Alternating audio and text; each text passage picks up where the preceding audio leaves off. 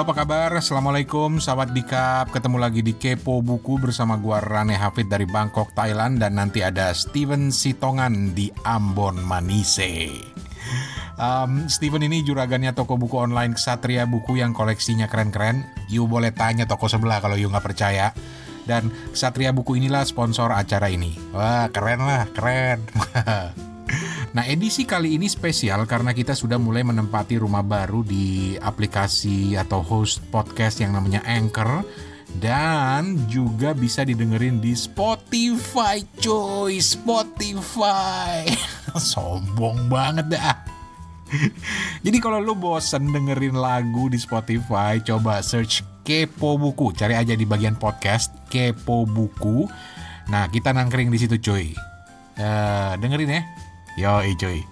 Selain itu, um, teman-teman semua nanti juga akan bisa ikutan share bukunya, ikutan ngobrol, ikutan ngasih pendapat, baik lewat fasilitas di Anchor yang bisa ninggalin pesan suara. Jadi klik aja record di situ di Anchor itu. Lu download dulu deh aplikasinya deh.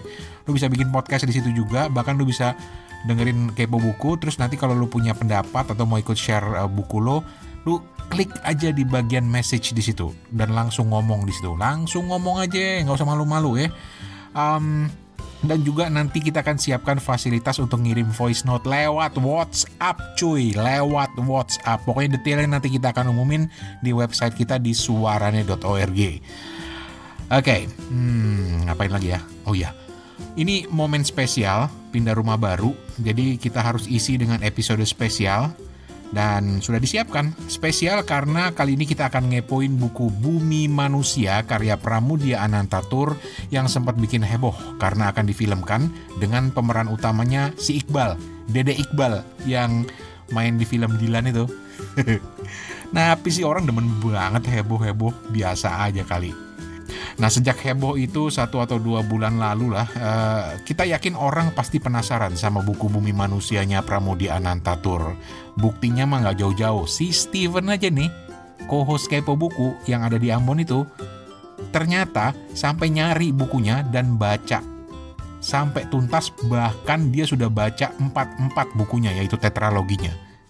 Itu saking penasarannya, itu saking keponya cuy.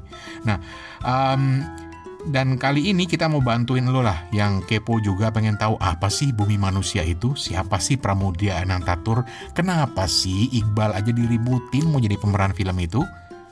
Uh, kita akan bedah habis-habisan di episode khusus kali ini dan ya anggap aja ini apa ya selamatan rumah baru deh buat kepo buku gitu. Oke, kita langsung mulai aja coy.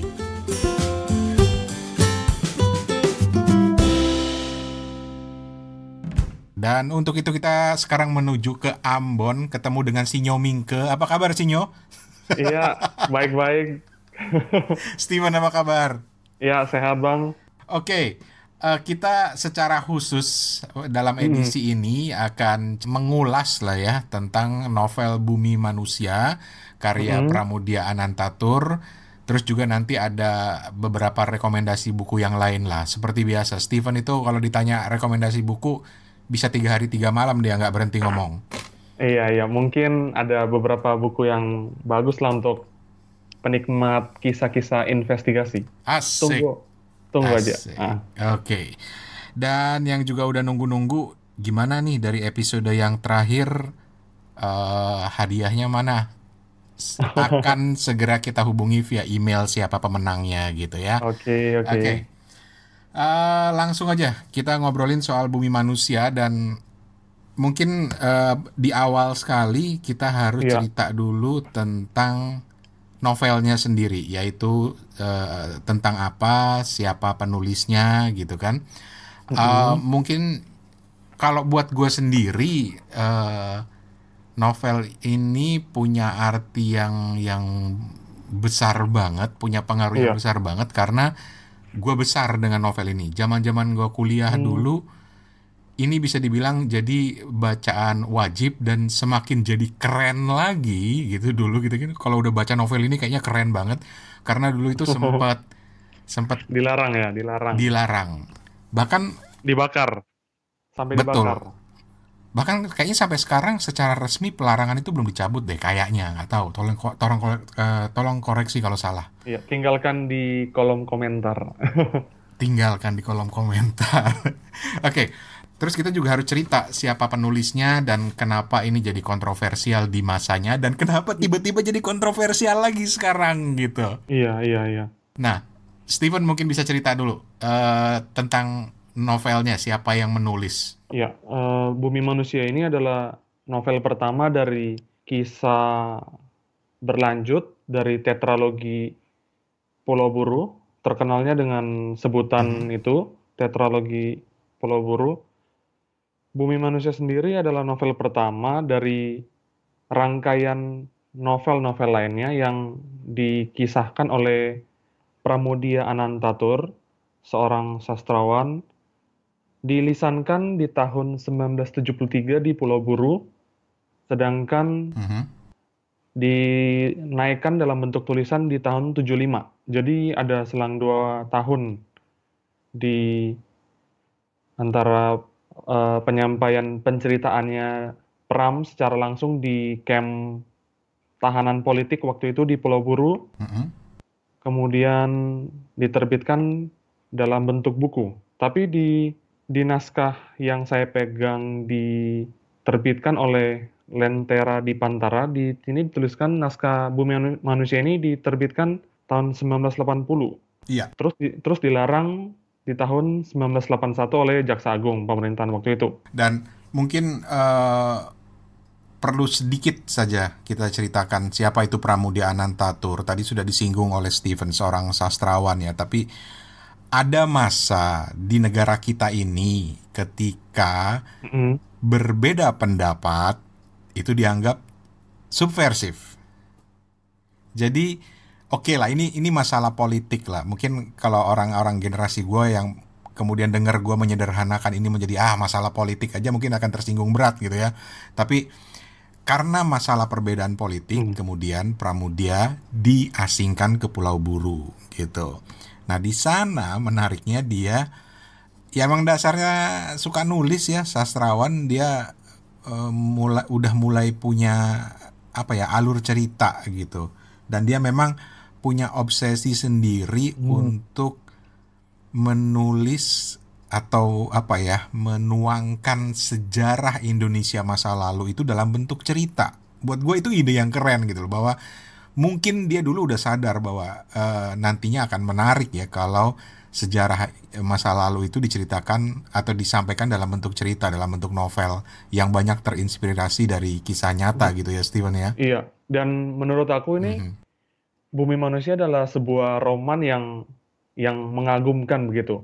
Aku baru ngeh, uh, kisah percintaan itu memang bikin kita jadi lebih simpatik kepada kisah Bumi Manusia itu sendiri, Bang ya. Mm -hmm. Dari dari awal kita udah udah klik nih dengan sosoknya Mingke yang menjadi tokoh sentral dalam perjuangan kaum pribumi nih yang menuntut persamaan hak, membebaskan dari ketidakadilan company gitu ya Bang ya. Betul, betul. Dan yang menarik adalah banyak yang menyangka novel Bumi Manusia ini atau tetralogi Pulau Buru ini mm pada masa hidupnya Pramudia Anantatur. Padahal konteks novel ini sendiri adalah pada masa antara tahun 1898 sampai 1918. Jadi bayangkan betapa Pramudia itu bisa uh, punya wawasan yang luas tentang Indonesia di masa-masa itu yang bahkan belum bernama Indonesia masih bernama Hindia Belanda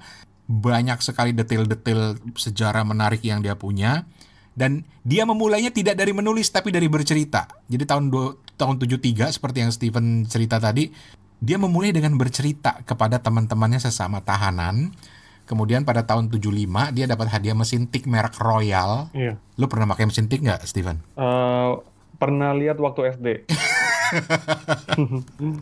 pernah. Iya. gitu. Jadi dia dapat hadiah mesin tik dan dia mulai menulis di situ semua.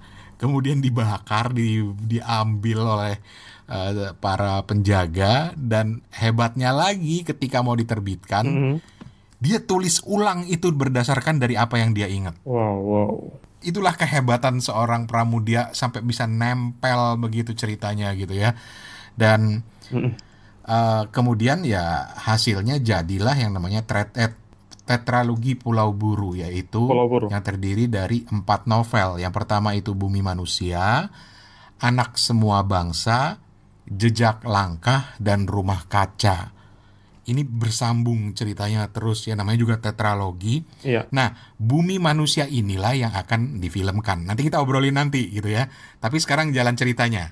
Gimana Steven kalau menurut lo? Gue gue pernah pengen tahu da dari sudut pandang lo.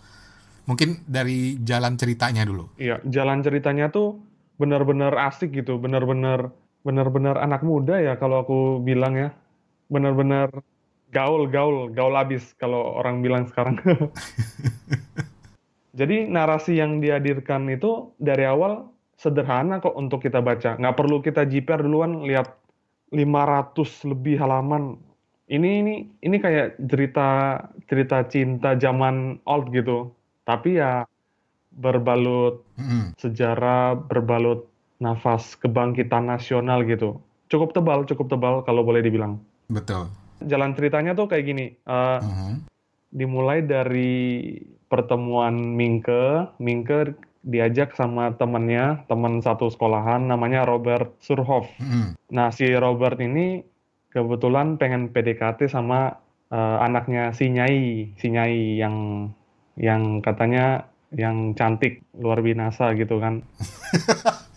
si anak si anaknya Nyai ini juga luar biasa cantik dan di awal-awal pertemuan Mingke dengan keluarga ini, Robert ketemu dengan kakaknya si sulung dari si Nyai yang juga bernama Robert itu mengharapkan sebuah apa ya sebuah pertemuan yang bisa akan mengikat mereka ke depan tapi hasil pertemuan pertama itu tidak disangka-sangka si Robert Surhoff malahan si Mingke yang seperti kejatuhan keberuntungan. Si analis, anak kedua dari Nyai, malah udah kesengsem tuh dari awal sama si Mingke. Mulai dari pertemuan Mingke dan analis ini, cerita dari bumi manusia itu bergulir dari sebuah pertemuan berlanjut hingga konflik Asik. yang semakin memuncak hingga pada pertengahan cerita kita mendapati bahwa cerita romansa yang dihadirkan bumi manusia itu tidak sesederhana yang digambarkan di awal seperti di awal. Ada begitu banyak karakter yang berkelindan, jalinan cerita demi cerita itu digarap oleh Pram dari awal hingga akhir itu semakin padat, semakin memberikan karakter-karakter yang tak terduga gitu di setiap jalinan ceritanya. Mm -hmm. Hingga akhirnya uh, Mingke ini juga harus menghadapi konflik batin, menghadapi situasi kondisi yang tidak sederhana yang seperti yang dia duga. Menarik, menarik ada satu bagian yang kita sepakati dulu ya Steven ya, jangan sampai kita bocorin karena ini spoiler banget. Iya. Ya tentang si analis nantinya ya. Tapi betul. Itu tadi sekilas lah tentang uh, jalan ceritanya. Uh, setting ceritanya itu di Surabaya. Iya, Surabaya. Dan di zaman Hindia Belanda dulu tahun 1800 sekian itu masyarakat tuh dikelas-kelaskan. Jadi ada kelas pribumi, ada kelas apa istilahnya ya kalau dia campuran pribumi dengan Belanda peranakan peranakan gitu ya. Terus iya. nanti ada yang Belanda Belanda totok. ada Cina ada Jepang gitu ya. Iya Arab. Arab. Nah konteks pemilahan-pemilahan masyarakat ini juga nampak dalam kehidupan dalam sekolah gitu. Dan Mingke ini termasuk yang beruntung karena dia bisa sekolah. Jadi sekolah di di sana itu dulu namanya ada sekolah HBS eh HBS ya Fit? Iya, iya HBS, HBS. Sekolah yang khusus buat orang-orang Belanda tapi boleh buat orang pribumi hmm. yang punya anak bupati. Ah itu dia, dia punya privilege khusus gitu. Nah Mingke ini sebenarnya anak bupati, cuma dia nggak pernah mau ngaku gitu loh. Bahkan dia punya yeah. nama lengkap, ada gelarnya dia itu Raden gitu ya dan dan dulu yeah. itu Raden itu di zaman Hindia Belanda itu punya kekuatan hukum, kekebalan hukum gitu. Iya, dia tidak bisa dihukum dengan pengadilan pribumi. Itu dia. Nah, mm -mm. Mingke itu sendiri sebenarnya nama sindiran ya, karena itu diambil dari kata monkey, eh, monkey ya? Iya, monkey. Tapi kemudian karena orang pribumi tidak bisa menyebut monkey, jadinya mingke gitu. Tapi kemudian nggak tahu kenapa Mingke menyukai nama itu, akhirnya dia lebih banyak menggunakan nama itu dan ke mana pun dia pergi dia memperkenalkan nama itu. Jadi buat teman-teman yang lagi dengerin, bayangkan bahwa Mingke ini yang nanti akan diperankan oleh Iqbal. Iya iya, seorang seorang Jawa Tulen yang mendapatkan pendidikan Belanda, uh-huh. yang mendapat pencerahan dari revolusi Perancis juga bahwa kedudukan manusia itu sebanding, setara. Tapi di kondisi situasinya di Pulau Jawa saat itu, di keluarganya sendiri, mm-hmm. dia akan bertabrakan dengan pemahaman baru tersebut. Betul. Itu itu Mingke. Terus nanti ada tokoh-tokoh yang penting-penting dulu lah ya ada iya. uh, Nyai Ontosoroh. Iya. Kalau sekarang disebutnya uh, selir gitu ya. Selir, iya. Jadi jadi dia istri tidak resmi dari seorang tuan tanah Belanda yang namanya Mel, uh, uh, uh, uh, Tuan Melema lah kita sebut aja namanya gitu. Uh, orang Belanda totok yang kawin dengan Nyai Ontosoro. Nyai Ontosoro itu dijual sama si tuan Belanda itu gitu loh dan dan dulu ketika ada istilah nyai itu selir itu udah dianggap hina banget gitu. Tapi yang menarik adalah karena nyai Ontosoro ini digambarkan sebagai selir yang cantik. Iya. Cuantiknya luar biasa. Iya. Tapi dia punya niat kuat untuk belajar. Dan oleh suaminya si Belanda ini dia diberikan segala fasilitas diajarin bahasa Belanda gitu ya bisa bahasa Prancis kemudian uh, diajarkan mengelola perusahaan bahkan kemudian nanti perusahaannya itu besar gara-gara Nyai Ontosoro ya.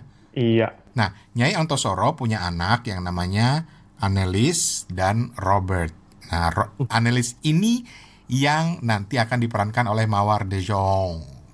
Kebetulan namanya Belanda juga ya. Iya. Indo namanya ya, Indo, Indo. Indo, iya. bukan peranakan, Indo. Gitu.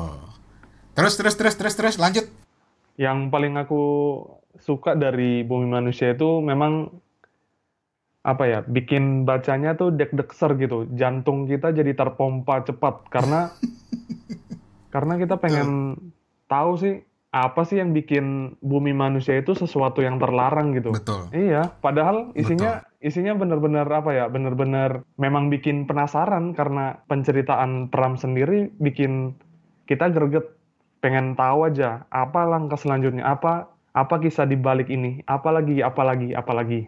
Dan membaca bumi manusia ini tentu tidak dapat dipisahkan dari semangat perjuangan melawan ketidakadilan yang tadi, yang sangat-sangat tersirat. Keadaan ma masyarakat saat itu pun bisa jadi rujukan lah wawasan Indonesia waktu itu seperti apa, budaya Jawa, hmm. budaya orang yang sangat menghormati jabatan, menghormati garis keturunan, sangat memegang peranan dalam tatanan masyarakat. Terus yang lain itu kayak bumi manusianya ini sendiri bisa merekam kondisi Surabaya waktu itu. Betul. Kisah-kisah ini juga menghidupkan kembali imajinasi kita tentang suasana Jawa Timur pada umumnya kita bisa membayangkan andong, dokar, bahkan orang-orang yang lagi memerah susu di peternakannya si Nyai, daerah Kembang Jepun, Wonokromo, terus kuliner-kulinernya juga apa yang di situ kue cucur. Mm-hmm. Kulinernya tuh yang dikasih sama Pram tuh yang aku tangkap tuh cuma kue cucur sama apa gitu ya. Paling minuman-minuman minuman biasa, rokok juga mungkin di buku novel pertama, kedua, rokok jagung, terus naik ke cerutu, terus ternyata, bukan spoiler ya, ternyata yang uh, disenangi sama Mingke itu adalah minuman kopi susu sama cerutu. Itu di rumah kaca di, di diketahui. Terus semua itu melengkapi kekuatan deskripsi penulis. Sehingga kisah ini aku rasa begitu hidup dalam imajinasi seorang pembaca. Oke, kita bisa panjang lebar cerita soal ini nggak dan nggak akan ada habis-habisnya. Tapi kita break dulu karena habis ini kita mau ngomongin kenapa ini jadi film dan gue penasaran pengen tahu uh, kesannya Steven karena Steven udah baca novelnya ya. Iya sudah sudah. Udah baca bahkan dia udah sampai rumah kaca segala udah yang keempat. Rumah kaca. Oke. Okay.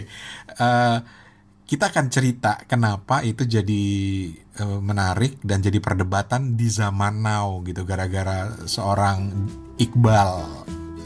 Ya, oke, kita break dulu sebentar lagi.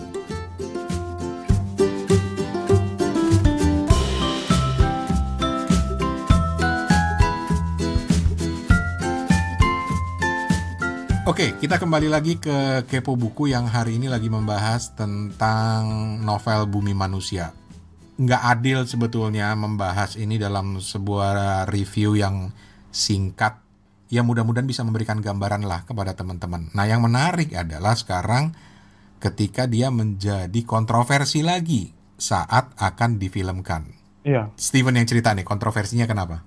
Kontroversinya itu bermula dari tiba-tiba ada siaran pers dari Mas Hanung dan jajaran cast yang mengatakan akan memulai produksi dari film Bumi Manusia mm -hmm. yang akan diproduksi oleh PT Falcon Pictures.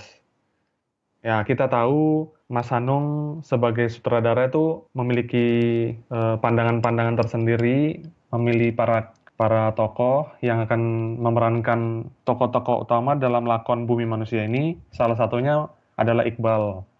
Iqbal sendiri tenar dan naik daun karena film terakhir ini Dilan 1990 yang notabene film romansa anak zaman now. Itu dia. Akibatnya banyak yang protes. Ya, mungkin karena salah satu tokoh idola para remaja ini yang memerankan tokoh sentral dari Bumi Manusia ini, Mingke. Mm -hmm. Mereka menganggap kekuatan Mingke itu nggak sebanding dengan sosok Iqbal yang uh, takutnya nanti jatuh-jatuhnya gombal kayak Dilan gitu, Bang. ya, unos. Tapi sejauh yang kita lihat, mungkin perdebatannya juga tuh melihat bahwa apakah medium film mampu menangkap uh, semangat, menampung gagasan-gagasan yang dihadirkan Pram lewat tetralogi buru ini. Itu itu yang mungkin jadi acuan polemik yang hangat banget di kalangan netizen. Betul. Dan wajar lah ketika orang protes ini kenapa sih harus Iqbal gitu loh? Iqbal Dilan kalau gue lebih ingatnya Iqbal Cowboy Junior gitu ya. Uh, uh, itu itu udah udah masa lalu bang. Jangan lagi jangan lagi. Gue belum gue belum nonton Dilan soalnya. Oh oke okay, oke. Okay. soalnya soalnya Iqbal udah udah grow up gitu bang. Udah grow up ya. Jadi iya. Iqbal yang ada di kepala gue itu Iqbal Cowboy Junior lebih nggak rela lagi gue gitu loh. Astaga. Uh -huh. Mingko dimainin sama Iqbal Cowboy Junior gitu. Tadi oke okay lah. Nah, yep. Mungkin harus mundur dulu ya. Jadi ada ada orang-orang yang bisa dibilang die hard fansnya Pramudi Anantatur itu tersinggung gitu loh karena diperankan oleh sosok Iqbal Ramadan. Yang lebih tersinggung lagi kemudian ketika Hanung Bramantio hmm. bilang Bumi Manusia itu kan novel percintaan gitu. Nggak beda jauh sama Dilan gitu. Hmm. Lebih tersinggung lagi kan. Nah, kemudian gue ketemu artikel yang menulis uh, di detik tuh. Dia cuma bilang bahwa inilah contoh congkaknya generasi tua. Gitu. generasi yang nggak mau dan nggak rela sebuah karya dari kehidupannya dari zaman dia dulu di dibongkar gitu ya istilahnya. Betul betul.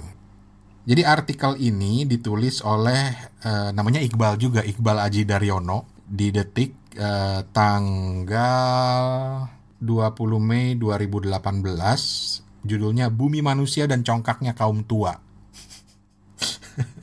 Jadi dia tuh cuma bilang bahwa uh, gua kutipin aja ya salah satu tulisannya ya. Dia bilang gini, uh, hari ini muncul keributan tentang rencana pembuatan film Bumi Manusia.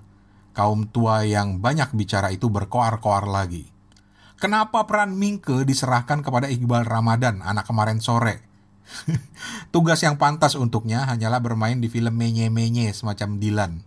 Kenapa Mingke, sosok pejuang pers legendaris dalam karya sastra sehebat bumi manusia, cuma diperankan oleh sosok ABG nggak jelas? Kami tidak rela. Um, Dulu kami membaca bumi manusia dengan sembunyi-sembunyi dengan cara memfotokopi. Coba kalian bayangkan, buku ini buku yang dilarang Kejaksaan Agung. Iya. Dan bagian yang gue suka dari tulisan ini, Uh, kenapa cuma diperankan oleh sosok ABG nggak jelas gitu? Kita harus fair bang, kita harus fair. Uh, Bumi Manusia itu ketika itu Minke juga uh, timelinenya dia masih seorang anak SMP atau SMA gitu ya kira-kira ya. Iya, dia masih sangat-sangat belia, sangat-sangat muda. Dia masih ceritanya kan masih berjuang untuk juga belajar, berjuga untuk nyari penghidupan dengan cara menjajakan lukisannya Siang Marais, kawan dekatnya itu. Dan dia waktu itu benar-benar masih daun muda istilahnya kan. Jadi siapa lagi aktor yang pantas untuk mendapatkan peran Mingke itu? Asal jangan Reza Rahadian. Ya. Ketuaan. Tapi siapa lagi? Siapa lagi kira-kira yang sosok uh, yang Jawa yang bisa uh, mendapati kekaleman dan ya sekaligus rupawan gitu. Jangan sangka kata Mingke itu sosok yang jelek. Dia tuh bisa menjadi seorang yang menaklukkan hati wanita juga loh. gitu. Iya, Mingke ini kan anak bupati. Jadi dia ada dia dia punya kelas yang yang yang agak tinggi. Strata sosialnya. Uh, strata sosialnya tinggi dan dia bersih gitu istilahnya. Ya anak-anak zaman-zaman itu pasti parlente aduh kalau gue pakai istilah parlente tua banget ke sana tapi modis modis ya modis modis iya. parlente mah zamannya pramudia istilahnya dia modis banget agak-agak playboy kalau pramudia pakai istilah filogenik selalu mengaku-mengaku filogenik ya bang ya dia. Nah, filogenik nih bikin gue buka-buka kamus apaan ternyata filogenik itu adalah penggemar wanita gitu. Lawannya itu misoginik yang nggak suka sama perempuan gitu loh, hmm. yang anti perempuan gitu. Nah dari gambaran itu memang Iqbal lah yang cocok gitu menurut Hanung Bramantio walaupun kemudian generasi tua yang congkak itu menganggap nggak adil gitu loh. Mungkin karena Dilan. Iya. Yang dianggap film menye-menye buat mereka. Tetapi buat generasi yang hidup di zaman sekarang, generasi zaman now, itu paling keren. Jangan lupa, Dilan itu film yang paling banyak ditonton di Indonesia hingga saat ini. Oke, itu satu catatan yang harus kita akui bersama. Mm -hmm. Dan yang paling menjadi sebuah dorongan aku untuk membaca Bumi Manusia, meskipun ya kalau kita itu sebagai penggemar sastra, pembaca sastra Indonesia belum katam lah kalau belum baca tetralogi Pulau Buru. Tapi itu aja bikin saya baru baca Bumi Manusia ini karena film Bumi Manusia ini mau jadi film sesederhana itu saya mencoba mau mengambil buku Bumi Manusia dan membacanya gara-gara kontroversi mau dijadiin film itu. Iya, jadi ya pengen tahu kenapa sih bisa jadi polemik yang enggak-enggak gitu deh. Dari situ ya jadi pengen baca. Dan kebayang nggak kalau nanti udah jadi film gitu loh. Iqbal pula yang main. Iya. Kebayang nggak betapa anak-anak kita nantinya, cael anak-anak kita, generasi-generasi zaman sekarang kemudian tertarik untuk membaca seperti Stephen gitu. Stephen aja baru rencana mau dibikin film aja langsung tertarik gitu loh. Apa sih yang menarik dari novel ini? Betul. Apa gitu. yang benar-benar wow gitu sampai uh, Bumi Manusia ini yang settingnya settingnya zaman dulu benar-benar Jawa banget. Terus kebudayaan Jawa yang ditampilkan aja dari sesi pre press conference-nya kan udah kentara banget ya bang ya. Mm -hmm. Dari pakaian semua uh, kesan mereka waktu duduk, kesan mereka tuh kayak kita lagi melihat jauh ke belakang Indonesia tuh kayak gimana gitu loh. Mungkin mungkin itu yang juga menjadi titik kekuatan dari novel Pram ini membawa kita naik mesin waktu melihat situasi kondisi Indonesia pada waktu itu. Iya. Yang bahkan belum bernama Indonesia gitu ya. Iya. Nah, gini aja deh kalau menurut gue ya, ini subjektif lagi-lagi. Mungkin yang disebut uh, di tulisan detik tadi sebagai generasi congkak akan tersinggung dengan penyederhanaan ini tapi gue setuju banget sama Hanung Bramantio ketika dibilang ini novel percintaan khususnya yang bumi manusia ya. Ini novel percintaan.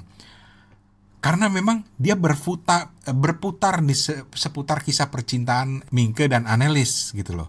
Iya. Tapi tanpa sadar kita disuntikkan juga dengan cerita-cerita lain latar belakangnya Surabaya zaman dulu uh, kehidupan pribumi, kehidupan sinyo-sinyo Belanda gitu. Itu tanpa sadar kita disuntikan karena kita tertarik pengen tahu ini gimana ujungnya percintaan si Mingke sama analis. Ya itu mau akhir yang bahagia atau akhir yang sedih gitu ya bang ya penasaran ini di sini. Betul, betul. Tapi gue jamin banyak yang nangis deh kalau di, difilmkannya dengan bagus gitu ya. Dan memang emosional banget kita bacanya bang. Emosional banget. Gitu. Iya. Tapi gue mau mundur dikit Steven. Ketika lu bilang tadi lu mulai tertarik baca justru karena lagi ada kontroversi tentang akan difilmkannya ini.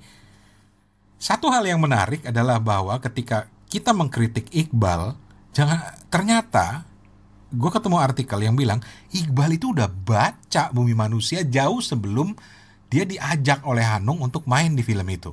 Oke, okay. nice, nice point. Gitu. Dan dia udah bacanya itu di sekolah ketika sekolah di Indonesia masih belum mewajibkan pelajar-pelajarnya untuk membaca dan membedah tetralogi ya Bang ya. Betul.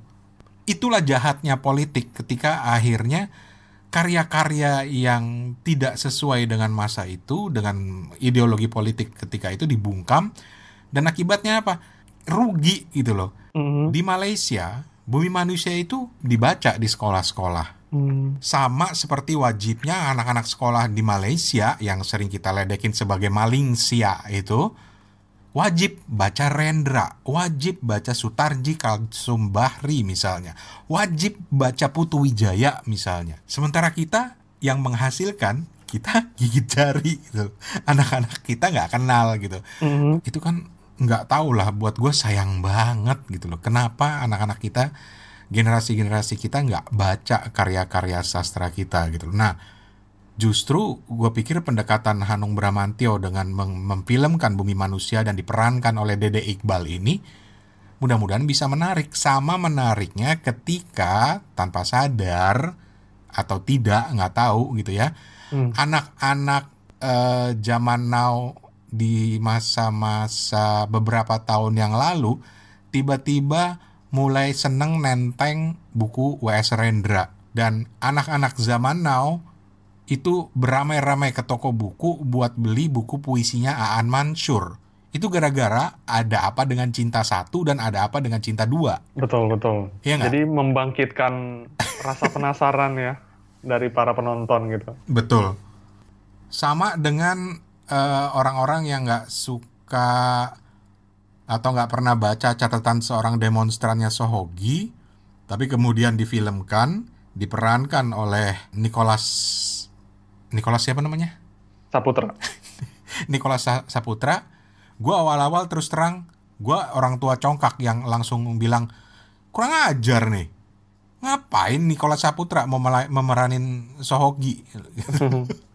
Tersinggung gue dan tanpa sadar ketika gue baca artikel detik itu di situ gue merasa, iya gue juga generasi tua yang congkak ya, yang nggak rela simbol-simbol, ikon-ikon dari zamannya diperkenalkan ke generasi-generasi yang sekarang gitu. buat gue kita nggak memberikan kesempatan dan nggak adil buat generasi-generasi sekarang. Yang harus diakui generasi sekarang itu adalah generasi hiburan, generasi yang yang salah generasi gue juga ketika gue tidak memperkenalkan anak-anak gue dengan buku-buku sastra gitu loh. Menurut gue gitu.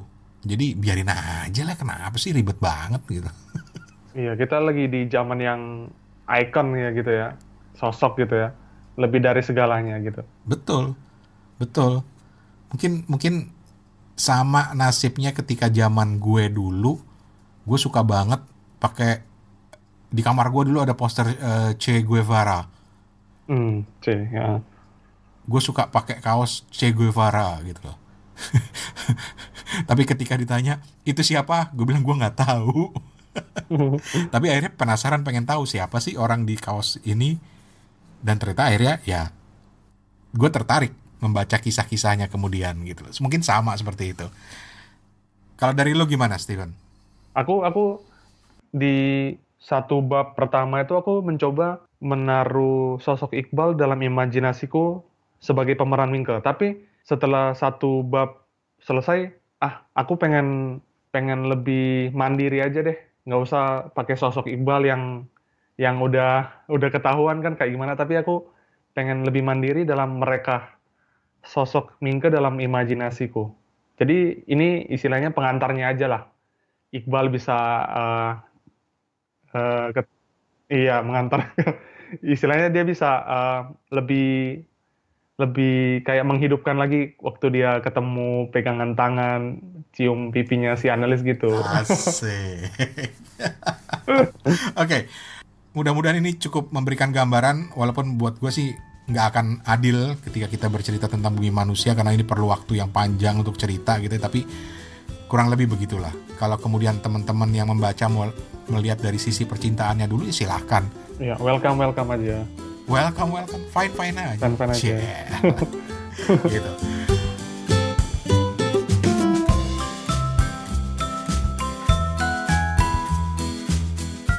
Oke. Okay. thank you banget. Iya. Dan buat teman-teman sekalian uh, perlu diinformasikan bahwa Kepo Buku sekarang sudah punya rumah sendiri di Anchor. Jadi cari aja di Anchor namanya Kepo Buku. Uh, kita akan cross promosi di channel utamanya Suara Aneh Podcast juga. Tapi buat teman-teman yang memang minat dan mau cerita tentang buku, coba aja cek uh, episode-episode lama Kepo Buku juga ada di udah kita upload di situ. Dan yang terpenting adalah kenapa pindah ke Anchor, kenapa kita bikinin rumah sendiri karena kita pengen teman-teman juga untuk cerita hmm. langsung tentang buku-buku favoritnya yang lagi dibaca. Dan kenapa di Anchor? Karena di Anchor ada fasilitas di mana teman-teman bisa uh, uh, call in istilahnya, uh, voice call. Jadi voice bisa call. meninggalkan yeah. pesan suara di situ. Ceritalah kalian di situ tentang buku kalian gitu. Dan juga bahkan lu bisa mengirimkan voice note untuk ikut berpartisipasi di oh, iya. uh, Kepo Buku. Oke, okay, asik tuh. Uh, apalagi kalau pakai Anchor bisa nimbrong kan ya bang? Betul. Ke depannya benar-benar Kepo Buku itu tetap pada filosofi awalnya yaitu selalu kepo, pengen tahu orang lagi baca buku apa. Karena kadang-kadang kalau kita keluyuran di bagian bestseller toko buku, belum tentu bukunya menarik karena di situ bisa juga ada pertimbangan dagang juga ditaruh di situ. Iya, uh, gimmick-gimmick bestseller gitu biasa. Gitu, ya kadang-kadang juga gimmick gitu. Jadi mudah-mudahan dengan kepo buku ini benar-benar bisa memberikan uh, review buku uh, yang yang sejujur-jujurnya dan buku apa aja. Iya, welcome, welcome. Gitu. Bahkan kita lagi nantang uh, Toto nih, salah satu host kepo buku untuk uh, dia sempat bilang gue boleh nggak ngulas tentang buku masak buku resep kenapa enggak iya oke okay. so thank you banget Steven. Iya senang sekali bisa bisa di ada di bagian kepo buku. Iya. Dan kita ketemu di episode berikutnya. Iya terima kasih